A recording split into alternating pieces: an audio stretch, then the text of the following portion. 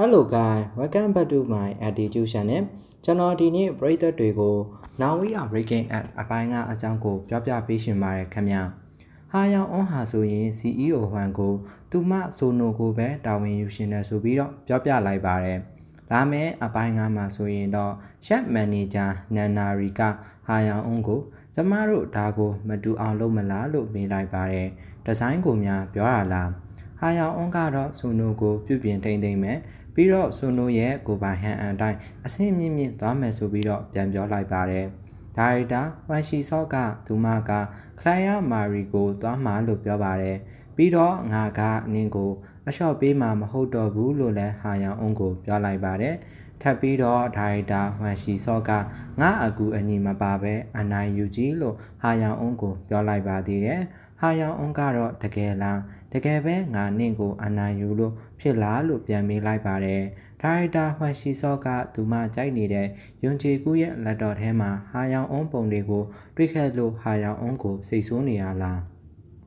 စော့တူဟွန်းကယွန်ဂျီကူကို နောက်ဆုံးတော့မင်းစီအလုတ်တရှို့ရခဲ့ပြီလို့ပြောလိုက်ပါတယ် အဲအလုတ်ကသဝမ်းမာလားမစ္စတာဂျေကအလုတ်တွဲလုပ်ဖို့ကိုသဘောတူလိုက်ပါတယ်ကျွန်တော်တို့လည်းယွန်စုဝမ်ဘလို့တည်သွားရတာလဲဆိုတာကိုကြည့်ခဲ့ပြီးပါပြီ ဟာယောင်အုံးရဲ့အမေကဟာယောင်အုံးစီကိုဖုံးဆက်ပြီးသူမအဖေရင်းနှီးမြုံနှံတဲ့ဘာရဲနဲ့ပင်စီကြီးပြောင်းသွားမှဆိုလို့ဆိုပြီးသူမသမီးစီဖုံးဆက်ပြောတယ်ထင်တယ်ဗျာနောက်မြင်ကွင်းတစ်ခုမှာတော့ဟာယောင်အုံးဟာဆိုရင်သူမအဖေစီကိုသွားကြည့်ဖို့ဖုံးဆက်လာတယ်ဗျာဘာလို့ဟာယောင်အုံးအဖေကိုရက်စခန်းမှာယွန်ကြည်ကူးနဲ့ဒူဒူရှိနေရတာလဲဗျာ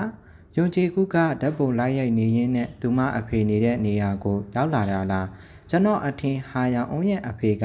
အလိန်ခံလိုက်ရတယ်ထင်ပါတယ်ဒါကြောင့်သူကဒေါသထွက်ပြီးသူ့ကိုလိန်သွားတဲ့သူစီကိုသွားပြီးရန်ဖြစ်တာနဲ့ရက်စခန်းကိုရောက်သွားတာထင်ပါတယ်ဒါရီကကျွန်တော်ရဲ့ထင်မြင်ယူဆချက်တက်တက်ပါအဲ့ဒါကြောင့်ဟာယောင်အုံးကသူမအဖေကိုရဲစခန်းမှာလာတွေ့ရတာပါအဲ့နေရာမှာလဲယွန်ဂျီကူကိုတွေ့လာရပါတယ် ဟာယာအွန်းရဲ့အဖေကလည်းမင်းတို့နှစ်ယောက်ကတည်နေတာလားလို့ဆိုပြီးတော့မေးလိုက်ပါတယ်ဟာယာအွန်းကသူကခလိုင်ယာမာရီနဲ့အလုတ်တွဲလုပ်တဲ့သူလို့ပြန်ပြောလိုက်ပါတယ်ဟာယာအွန်းကိုကျွန်တော်တို့ကဆက်တွေမဟုတ်ပါဘူးအနည်းဆုံးတော့တလကြာမယ်လို့ပြောပါတယ်ဟာယာအွန်းက Mrs. Choi ကိုသွားတွေ့ရလားဟာယာအွန်းကဘာလို့ Mrs. Choi ကိုသွားတွေ့ရတာလဲဗျာ မှရှိစော့ကတော့သူမကအတိတ်ကိုဂရုမစိုက်ဘူးအနာဂတ်ကိုပဲအရေးကြီးတယ်လို့ပြောပါတယ်ယွန်ချေကုကသူကြိုက်တာမင်းကလေးရှိနေပြီလို့ပြန်ပြောလိုက်ပါတယ် ယွန်ချေကုကအာယောင်အုံးကိုမင်းရဲ့ဖုန်းဝါပေပါကိုရှင်းသိမ့်ပြီလို့ပြောလိုက်ပါတယ်ယွန်ချေကုရဲ့အမေကဂျေကုမှာကောင်မလေးရှိနေပြီလို့ရှင်ယူချောင်ကိုပြောပြလိုက်တယ်ထင်တယ်ဗျ